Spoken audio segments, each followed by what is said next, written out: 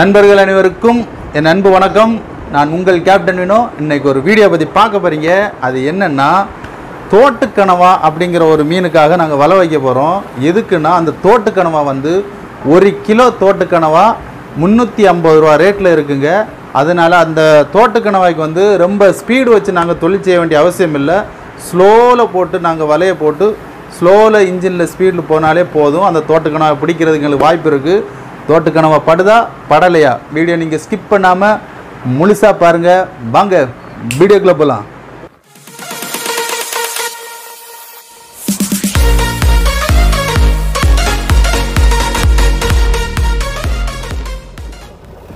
இப்போ நாங்கள் வந்து அந்த வலையை வாங்கிட்டு இருக்காங்க ஆட்கள். இந்த வலை வந்து ரொம்ப சின்ன வலையாக தான் இருக்கும். ரொம்ப பெரிய வலையெல்லாம் போட மாட்டோம். இந்த சின்ன வலையில் வந்து அதிகமான வெயிட்டுகள் வந்து கெட்டியிருப்போம். அதனால் இந்த வெயிட்டு அதிகமாக இருக்கும்போது அந்த தரையோட வந்து இந்த வலை வந்து பிதஞ்சுக்கிட்டு தான் வரும். இந்த போயா அதாவது இந்த வலையில் கெட்டி இருக்கக்கூடிய அந்த போயா வந்து தண்ணிக்குள்ளே முங்கி முங்கி வர்றது தான் நீங்கள் இப்போ பார்க்குறீங்க இதே இது அதாவது பெரிய வலை வேறு ஏதாவது வலை வச்சு இப்படி போயா முங்கி வந்துச்சுன்னு சொன்னால் அதிகமான மீன் கிடந்தா தான் இப்படி போயா முங்கி வரும். ஆனால் இந்த வலையை பொறுத்த வரைக்கும் அதிகமான வெயிட் இருக்கிறதுனால இந்த போயா வந்து வெறும் வலையாக இருந்தால் கூட இப்படி முங்கி முங்கி தான் வரும். ஆனால் இந்த வலையில் வந்து அதிகமாக மீன் ஏறிச்சுன்னு சொன்னால் இந்த லாக்கேரை குடத்தில் போட்டு எடுக்கும்போது தான் எங்களுக்கு அந்த மீன் கிடக்கக்கூடிய இது அறிகுறி தெரியும். இப்போ இதில் மீன் கிடக்கா கிடக்கலையாங்கிறது எங்களுக்கும் தெரியல. பார்க்குற உங்களுக்கும் தெரியாது.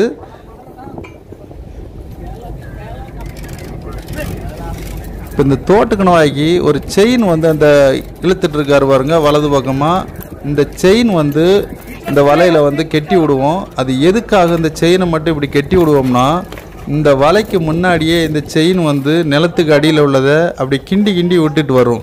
அப்போ அந்த கிண்டும் போது அந்த நிலத்துக்கு அடியில் பிதஞ்சு இருக்கக்கூடிய கனவா இந்த மீன்கள் வந்து அப்படியே அது கிண்டும் போது மேலே வந்துடும் அப்போ மேலே வரும்போது எங்கள் வலையில் வந்து அதிகமாக படுறதுக்கான வாய்ப்பு இருக்குது அதுக்காகத்தான் இந்த செயின் கட்டி விட்ருக்கோம்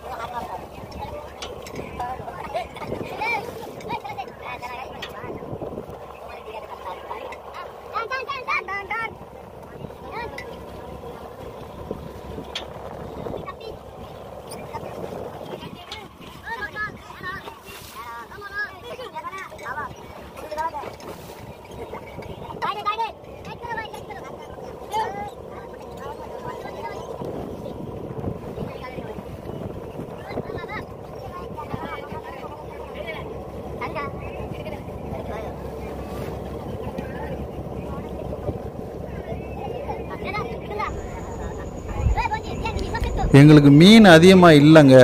மீன் வந்து அதிகமாக இருந்துச்சுன்னா இப்படி தூறு மடியை தூக்கும்போது அது பெருசாக வரும். இப்போ நீங்களே பார்க்கலாம். கொஞ்சமாக தான் வருது. அதனால் எங்களுக்கு மீன் அதிகமாக இல்லைங்கிறது பார்க்குற உங்களுக்கும் தெரியுது எங்களுக்கும் தெரியும்.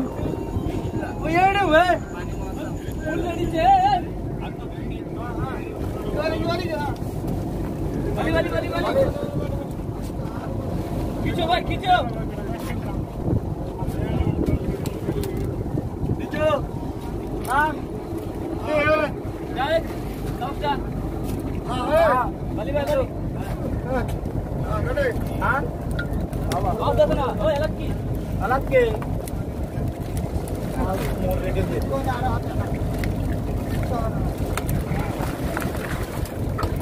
மடியை உருவி விட்டுட்டாங்க.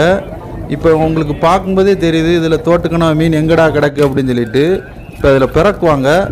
இப்படி ஒன்று ஒன்றா பிறக்கி அந்த பாக்ஸில் இப்படி மொத்தமாக தான் புறக்கி பார்ப்பாங்க. இந்த நண்பர் வந்து இப்போ கையில் ஒரு தோட்டுக்கணவாய் பிடிச்சிருக்காரு. அது இன்னும் சாகலை உயிராக தான் இருக்குது அந்த உயிராக இருக்கும்போது இந்த மையை வந்து இப்படி தான் இருக்குங்க. அந்த மையை ரொம்ப பீச்சி பீச்சி அடிக்கும் அந்த மையை.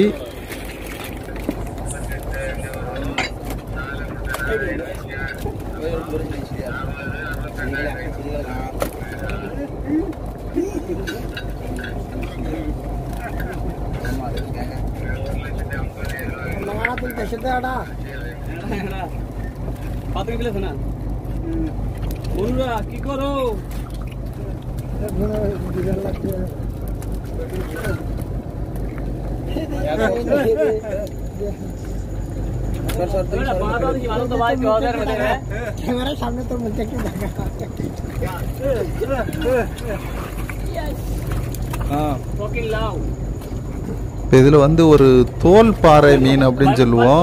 தோல் கிளாத்தின்னு சொல்லுவோம். இந்த மீன் தான் இப்போ நீங்கள் பார்க்குறீங்க இது வந்து ஒரு எக்ஸ்போர்ட்டிங் மீன். இது ஒரு கிலோ வந்து ஒரு நூற்றம்பது ரூபா நூற்றி எழுபது ரூபா அந்த கணக்கில் இருக்கும்.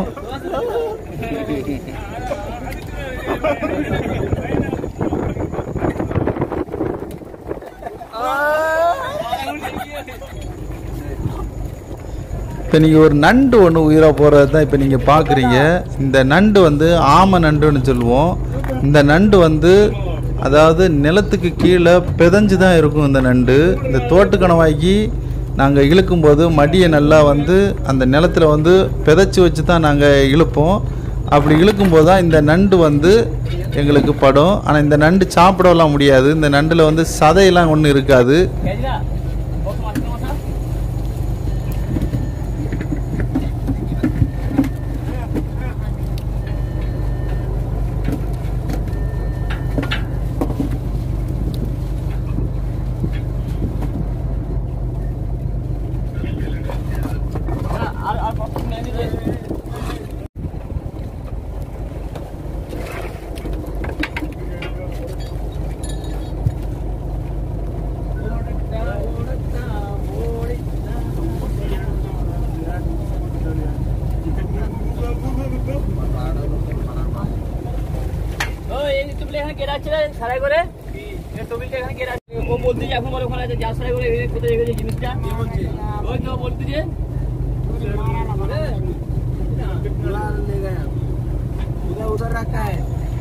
இப்போ எங்களுக்கு கிடைச்சது வந்து மொத்தம் ஒரு பத்து கிலோ அந்த அளவில் தான் அந்த தோட்டுக்கணவா மீன் கிடச்சிருக்கு.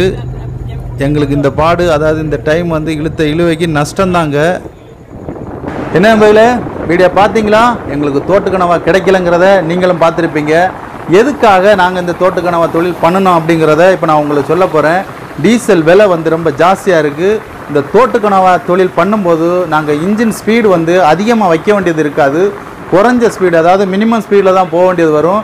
அப்படி போகக்கூடிய நேரம் இந்த டீசல் வந்து எங்களுக்கு குறவாக தான் செலவழியும்.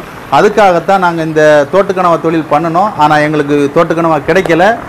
இப்போ ஒரு முக்கியமான ஒரு விஷயம் கேப்டன் இன்னோ சேனலை சப்ஸ்கிரைப் பண்ணாதவங்க கண்டிப்பாக சப்ஸ்கிரைப் பண்ணி பாருங்கள் எனக்கு சப்போர்ட் பண்ணுங்கள் உங்கள் ஃப்ரெண்ட்ஸுகளுக்கு ஷேர் பண்ணுங்கள் உங்களிடமிருந்து விடைபெறுவது உங்கள் கேப்டன் வினோ நன்றி வணக்கம்.